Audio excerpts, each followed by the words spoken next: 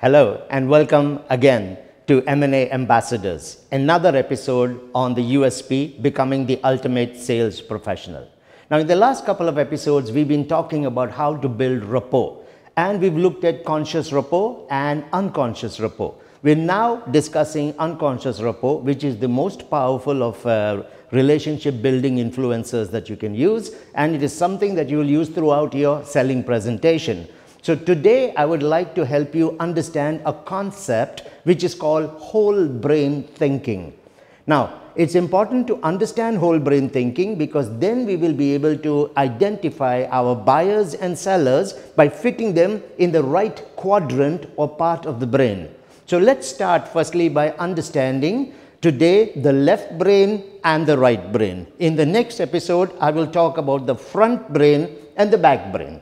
So to talk about the two quadrants, left and right, let me just give it to you as a diagram. So that is the brain that you're looking at, okay? Now the brain is divided into left and right.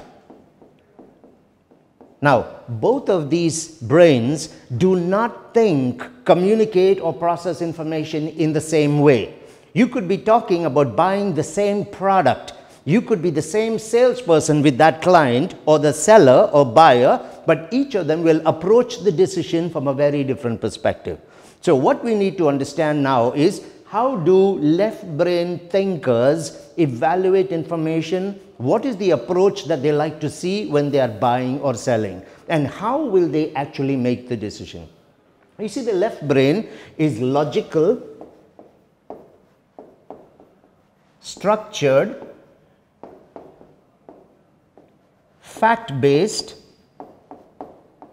and they are efficiency driven. So what this means is when you are talking to a left brain person, it's not about being friendly with them. It's not about trying to build a relationship through personal engagement. They don't appreciate that. What I like from you is if you can come straight to the point, you've got your facts which you can back up with the evidence. I see you using an effective approach. Don't waste my time. We are driven by results and effectiveness. We want things done fast. We are high risk takers. We get the big picture. I don't need all the details 1, 3, 5, 10. That's all I need. And I need to see in the salesperson confidence. I need to see their competence. And I need to see that they understand facts, numbers, evaluations. That's, that's what makes me take a buying decision. So straight to the point, no jokes, no friendliness, clear structure, logical approach, strong facts, bottom line results, and how quickly can I make my money from this. When you speak to them, you don't use vague subjective language, specific, objective, to the point. You don't, you make a statement like a lot of buyers today are considering. They don't like that. They don't understand. What does a lot of buyers mean? To grab their attention, you would have to say 70% of the buyers today are considering. That they get. So if you want them to understand what you're saying, to process that information, make sure that you have the numbers in it because they are numerate people. They like to evaluate and compare. They also don't like too many words. So keep your sentences short and to the point. Here's another example. Let's say you want to find out what this client thinks about that opportunity. I'd simply say, so what do you think?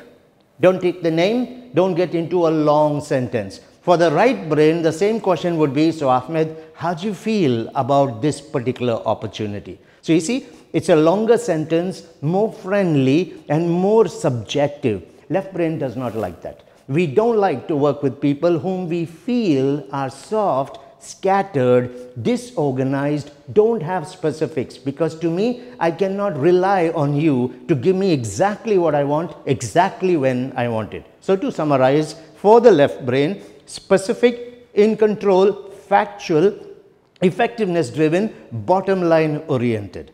That's where they will feel comfortable with you. Now the opposite of that is the right brain. The right brain is driven by feelings, relationship, communication. They are very subjective, and they go with gut feel. What I mean by that is they are constantly evaluating and judging. They're constantly making the evaluation based on how they feel about what you're saying.